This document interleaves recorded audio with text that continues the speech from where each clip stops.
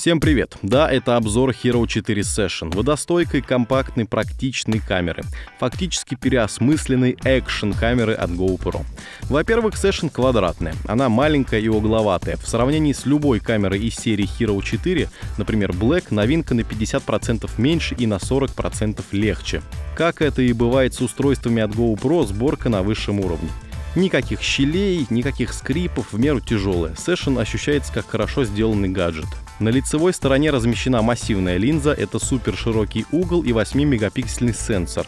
На камере есть всего две кнопки и маленький дисплейчик, и ей, соответственно, даже легче пользоваться. Все просто. Нажимаем на кнопку, немного ждем, начинается запись видео.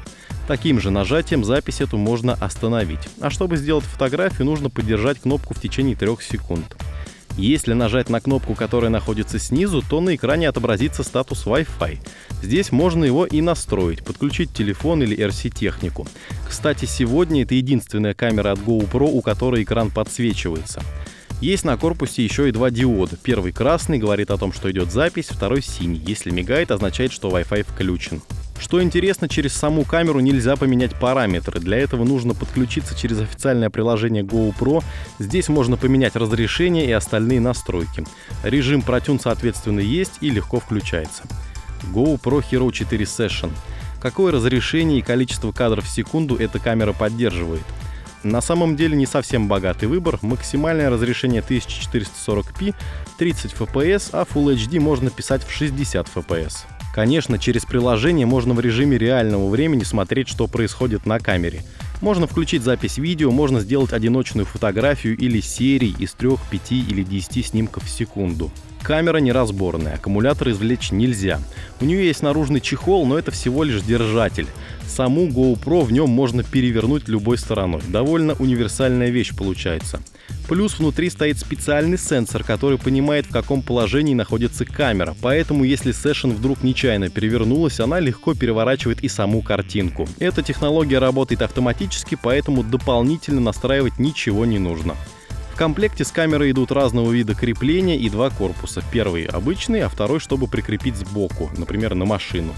Что касается видеоблогинга, то разницы в принципе со старой GoPro никакой относительно форм-фактора. Но разница есть, и она в качестве. Сейчас картинка с Hero 4 Session, а сейчас с Hero 4 Black.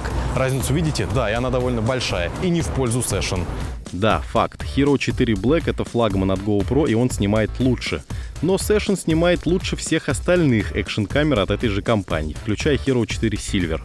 Но мы сравниваем с лучшей. У картинки Session относительно Black детализация чуть хуже, есть пересветы небольшие, но в любом случае для экшн-камеры результат просто отличный. К тому же огромный плюс Session, у нее нет никакого защитного корпуса. Она сама по себе противоударная и водонепроницаемая. GoPro отлично снимает под водой. И особенно это актуально летом. И да, она снимает прямо сейчас. Погружать камеру можно до 10 метров без дополнительных аксессуаров. Это опять же означает, что ничего не мешает для беспрепятственной записи звука. Сам звук, соответственно, с двух камер тоже разный. Hero 4 Black стоит всего один микрофон, у Session их два. Один спереди в верхнем углу, второй сзади внизу. Поэтому на шумных мероприятиях, на концертах Session это сейчас лучшее по звуку, что делает GoPro. Ну и последнее, батарея. Камера может беспрерывно снимать на протяжении двух часов. Это официальные данные. Но в итоге так примерно и получается, полтора-два часа. Единственная проблема, что батарея незаменяемая, поэтому если села, будьте добры зарядить или достать еще одну камеру. Это недостаток. Официальная стоимость новой GoPro в России составляет 30 тысяч рублей, в Америке 400 долларов. Но учитывая, что корпус неразборный, а вдруг камера сломается, ее невозможно будет починить. А вот официально с гарантией, скорее всего, просто заменят на новую. По большому счету, Session получилось дорогим, но крутым устройством. Да, 4 Black имеет лучшее качество, возможность съемки в 4К и стоит всего на 100 долларов дороже. Но с другой стороны, Session, ну, снимает хуже Black, да, но лучше Hero 4 Silver.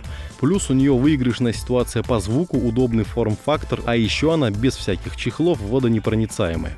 Ясно, что большинству подойдет 4 Black или даже Silver. Session создана для определенных условий. И в своем сегменте это пока единственный представитель. Такая камера хороша как для новичков, так и для экстремальных съемок, особенно под водой.